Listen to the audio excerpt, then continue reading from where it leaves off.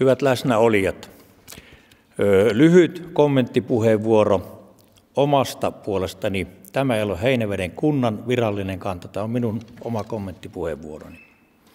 Ja aivan aluksi haluan kiittää omasta puolestani kuntajakoselvittäjä Reijo Vuorentoa sekä kaikkia työryhmissä mukana olleita hyvästä työstä.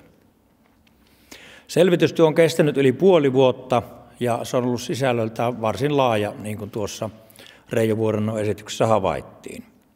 Ja työn kestäessä on tarkasteltu muun muassa kuntion historiaa, nykyisyyttä sekä tulevaisuutta talouden, toiminnan ja tulosten näkökulmasta. Aineistoa on karttunut runsaasti ja se on saatavissa kaikkien päätöksentekijöiden ja haluavien käyttöön.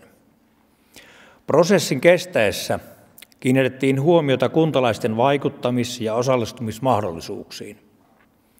Kuulemistilaisuuksia järjestettiin kaikissa selvitykseen osallistuneissa kunnissa. Niihin osallistui kuitenkin vain hyvin pieni määrä yleisöä. Tästä heräsi kysymys, että luottavatko kansalaiset valitseminsa päätöksentekijöihin niin hyvin, että tämän tason asia voidaan jättää pelkästään luottamushenkilöiden ratkaistavaksi, vai tuntevatko he vaikutusmahdollisuutensa yleensäkin vähäisiksi? Kommentteja ei kovin paljon saatu. Selvitystyö on tehty joka tapauksessa tosi tarkoituksella. Ja kunnat tekevät päätöksensä alkuvuodesta 2015. On tärkeää, että päättäjät tutustuvat ennen ratkaisuaan hyvin selvitystyön aineistoon ja analysoivat sitä huolellisesti. Tosiasiat on tunnustettava sekä tarkasteltava vaihtoehtoja ennakkoluulottomasti ja otettava järki mukaan päätöksentekoon tunteiden lisäksi. Selvitystyön aikana on useamman kerran herännyt kysymys, onko tämä se porukka, jonka kanssa haluamme toimia jatkossa tiiviimmin. Prosessin edetessä on käynyt entistä selvemmäksi, että yhteistyössä mukana olevien kuntien, virkamiehet, toimihenkilöt ja poliittiset päättäjät edustavat vahvaa ammattitaitoa ja sitoutumista – tehtäviinsä. Asioita on tarkasteltu sekä kirjattu avoimesti ja objektiivisesti, mikä on herättänyt luottamusta. Asioiden käsittely kunnissa etenee toivon mukaan siten, että tammikuussa 2015 kaupunkien ja kuntien hallitukset käsittelevät ja valmistelevat esityksensä valtuustojen päätettäväksi kuulemisajan jälkeen helmikuussa. Nyt kuitenkin päätettiin ohjausryhmän kokouksessa, että kunnanhallitukset kokoontuvat 9. päivä helmikuuta, tekevät esityksensä valtuustoille ja valtuustot kokoontuvat 23. helmikuuta kaikissa käsittelyn alaisissa kunnissa ja tehdään yhtä aikaa ne päätökset, eli kukaan ei pääse näille sitten spekuloimaan. Päätösten tekeminen ei tule olemaan kuitenkaan helppoa. Taustalla on kysymyksiä esimerkiksi palveluiden saatavuuden ja tason säilymisestä sekä poliittisten asemien jatkosta.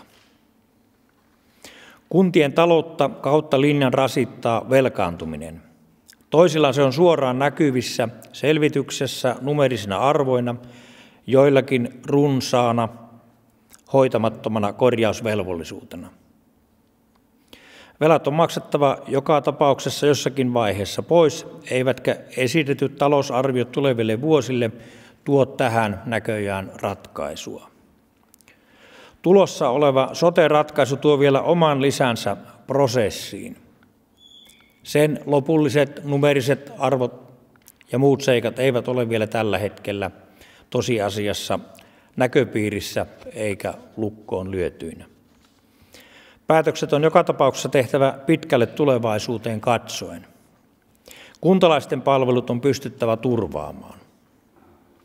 Otan vielä kantaa erääseen tärkeään, tärkeänä pitämäni asiaan. Kuntien on määriteltävä, mitkä alueet ne haluavat pitää asumiselle, liiketaloudelle ja teollisuudelle haluttavina.